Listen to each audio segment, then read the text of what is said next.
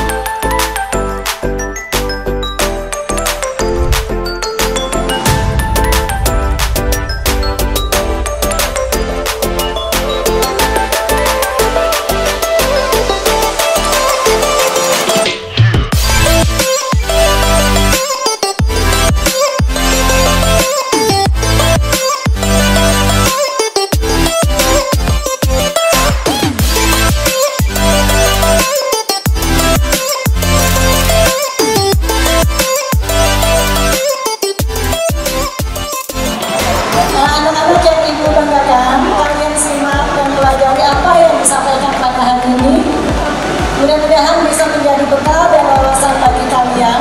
Jadi ini juga